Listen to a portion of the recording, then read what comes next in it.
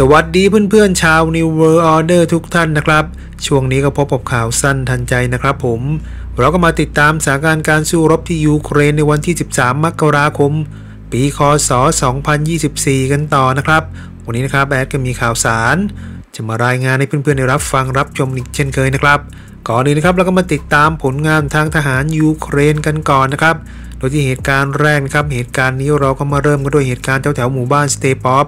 ซึ่งเหตุการณ์ในคลิปนี้นะครับมันก็เป็นการสู้กันระหว่างรถถังเทพแบบ T90M แล้วก็ไอ้รถเกราะ M2A2 Bradley จำนวน2คัน ที่บริเวณหมู่บ้านสเตปอฟจากในคลิปนะครับไอ้เจ้ารถถังแบบ T90M ของทหารรัสเซีย มันก็ได้บุกเข้ามายังบริเวณหมู่บ้านสเตปอฟซึ่งความเคลื่อนไหวดังกล่าวของมันเนี่ยก็ถูกทางทหารยูเครนติดตามอย่างใกล้ชิด ต่อมานะครับทางทหารยูเครนจากกองพลน้อยยานเกราะที่ 47 ก็ได้ส่งรถเกราะแบบ M2A2 Bradley จำนวน 2 คัน เข้ามาจัดการกับรถถังเทพแบบ T90M ของทหารรัสเซียคันนี้ โดยที่รถเกราะแบตเตอรี่คันแรก มันก็อยู่ที่บริเวณฝั่งซ้ายหน้าทางเข้าหมู่บ้าน ส่วนในรถเกราะ M2A2 แบตเตอรี่คันที่ 2 มันก็แยกอยู่ที่บริเวณทางด้านบนของหมู่บ้านฝั่งขวา สาเหตุที่ต้องแยกกันก็เพื่อเป็นการให้เจ้ารถถังแบบ T90M เนี่ยมันไม่สามารถโจมตีได้อย่างง่ายดายอีกทั้งมันก็ยังทำให้เจ้ารถถัง T90M ของทหารรัสเซียคันนี้ห่วงหน้าพวงหลัง กลืนไม่เข้าคลายไม่ออก โดยที่เพื่อนๆก็เห็นในเจ้ารถกรอบแบตลี่คันนี้อยู่ทางด้านล่างหน้าทางเข้าหมู่บ้าน หลังจากที่มันยิงต่อสู้กับไอ้เจ้ารถถังแบบ T90M มาสักระยะหนึ่ง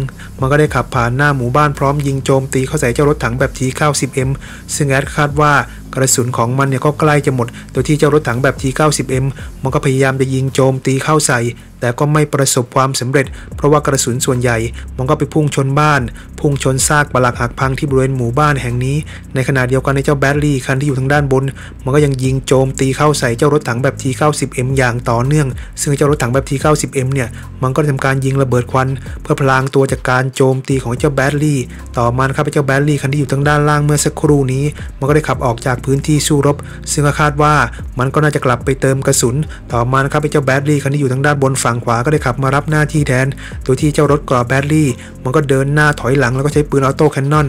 ยิงโจมตีเข้าใส่รถถังเทพแบบ T90M อย่างหนักหน่วง ซึ่งเพื่อนๆก็เห็นวิถีกระสุนของปืน autocannon มันก็พุ่งเข้าใส่รถถังแบบ T90M ของทหารรัสเซียอย่างชัดเจน ต่อมาครับเจ้า Bradley เนี่ยมันก็ได้ขับถอยหลังออกจากหมู่บ้านไปเล็กน้อย แล้วก็ขับเข้ามายิงซ้ำเข้าใส่เจ้า T90M อีกครั้ง แต่ครั้งนี้นะครับมันก็ได้เกิดมีการระเบิดเกิดขึ้นที่บริเวณรถถังแบบ T90M ซึ่งแอดก็ไม่ชัวร์นะครับว่า มันเป็นการโจมตีจากปืนออโต้แคนนอนหรือว่ามันเป็นการโจมตีจากจรวดโท ต่อมาครับเจ้าแบตรี่มันก็ได้ใช้ปืนออโต้แคนนอนยิงโจมตีเข้าใส่รถถังแบบ T90M อีกครั้ง ซึ่งรถถังแบบ T90M ของทหารรัสเซียคันนี้เนี่ยก็ดูเหมือนว่ามันจะไม่สู้แล้วนะครับไอรถถังของทหารรัสเซียคันนี้ มันก็พยายามจะหลบหนีและเมื่อซูมเข้าไปใกล้ๆเนี่ยเราก็เห็นได้ว่า ป้อมปืนของมันก็เหมือนจะเสียการควบคุมหมุนไปหมุนมา จนกระทั่งในรถถังแบบ T90M ของทหารรัสเซียคันนี้ มันก็เสียหลักพุ่งเข้าชนกับต้นไม้ใกล้ๆกับบ้านหลังหนึ่ง และเมื่อมาดูรูปถ่ายชัดๆที่ถ่ายมาจากโดรนของยูเครน เราก็เห็นความเสียหายของเจ้ารถถัง T90M ของทหารรัสเซียคันนี้ได้อย่างชัดเจน ตัวที่ฝาทางด้านบนของป้อมปืน มันก็ถูกเปิดออก ซึ่งแอดคาดว่าทหารรัสเซียที่รอดชีวิต ก็น่าจะหนีออกไปเป็นที่เรียบร้อยแล้ว แต่แอดก็คิดว่า วกเขาก็ไม่น่าจะรอด เพราะว่าเจ้าโดรนของยูเครนเนี่ยมันก็รอหย่อนระเบิดอยู่นะครับ เอาเข้าจริง ๆ แล้วนะครับจังหวะที่ทำการต่อสู้กันอยู่เนี่ยแอดคิดว่าทางยูเครนก็น่าจะใช้โดรนกามิกาเซ่มาช่วยเสริมให้สามารถทำงานได้ง่ายขึ้น จบงานได้ไวขึ้น ไม่ต้องกินเวลาเป็น 10 นาทีให้เปลืองกระสุนแบบนี้นะครับ แน่นอนครับว่าการสู้รบกันระหว่างรถถังแบบ T90M แล้วก็รถเกราะแบบ M2A2 Bradley 2 คันครั้งนี้ ไอ้รถถังเทพแบบ T90M ของทหารรัสเซีย มันก็พ่ายแพ้โดนน็อก โดยที่รถเกราะ M2A2 Bradley มันก็ไม่ได้รับความเสียหายใด ๆ เลยนะครับ เอาเข้าจริงๆแล้วเนี่ย จะเรียกว่าเป็นการดวลกันก็ได้ เพราะว่าเจ้า Bradley คันแรก มันก็ออกจากสนามรบไปอย่างรวดเร็วผลงานนี้นะครับมันก็เป็นผลงานของกองพลน้อยยานเกราะที่ 47 สถานที่เกิดเหตุก็อยู่แถวๆหมู่บ้านสเตปอฟเมืองแอฟดิฟกา แคว้นโดเนตสก์นะครับ เหตุการณ์ต่อมานะครับ เหตุการณ์นี้มันก็เป็นการถล่มไอ้เจ้าระบบสงครามอิเล็กทรอนิกส์แบบ RB109A ไบลีนาที่บริเวณพื้นที่แถวๆสนามบินเมืองโดเนตสก์นะครับ จากในคลิปนะครับไอ้เจ้าโดรนลาดตระเวนสอดแนมของยูเครน มันก็บินไปพบกับไอ้เจ้าระบบสงครามอิเล็กทรอนิกส์แบบ RB109A ไบลีนาซึ่งไอ้เจ้าไบลีนาเนี่ย มันก็คล้ายๆกับเป็นศูนย์ควบคุมวิเคราะห์สั่งการ ที่สามารถสั่งการระบบสงครามอิเล็กทรอนิกส์อื่นๆของทหารรัสเซียหลายแบบพร้อมกันได้ ไม่ว่าจะเป็นไอ้เจ้า Leer 2 Leer 3 R330 Resident Tirada 2 d i a b a s o แล้วก็ Palantin นะครับ ต่อมานะครับเจ้าไบลีนาระบบนี้ มันก็ได้เกิดมีการระเบิดเกิดขึ้น โดยที่การระเบิดดังกล่าวก็ยังไม่ชัวร์ครับว่า มันเป็นการโจมตีจากอาวุธชนิดใด แต่มันก็มีความเป็นไปได้สูงนะครับว่า การโจมตีครั้งนี้ มันก็น่าจะเป็นการโจมตีมาจากโดรนกามิกาเซ่ของยูเครนนะครับ แน่นอนนะครับว่าเจ้าระบบสงครามอิเล็กทรอนิกส์ที่มีความสามารถ jamming สัญญาณต่างๆ โดยเฉพาะสัญญาณหัวเจ้าโดรนเนี่ยมันก็ไม่สามารถที่จะหยุดยั้งให้โดรนลาดตระเวนสอดแนมของยูเครนที่บินชี้เป้ามันอยู่ หรือว่าเจ้าโดรนกามิกาเซ่ที่บินพุ่งชนทำให้เกิดมีการระเบิดได้นะครับผลงานนี้นะครับก็เป็นผลงานของหน่วย Shadow สถานที่เกิดเหตุก็อยู่แถวสนามบินเมืองโดเนตสก์ แวนโดเนตสก์นะครับ เหตุการณ์ต่อมานะครับ เหตุการณ์นี้มันก็ยังเป็นการใช้เจ้าโดรนกามิกาเซ่อยู่นะครับ แต่ว่าเหตุการณ์นี้นะครับ มันก็เป็นการใช้เจ้าโดรนกามิกาเซ่